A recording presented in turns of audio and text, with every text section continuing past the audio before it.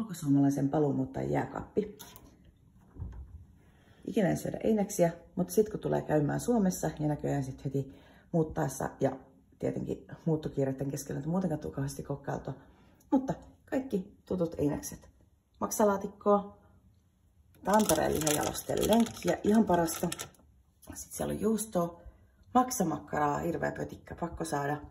Ja aurajuustoa. Tätä on ollut niin ikävä, ihan hirveä ikävä.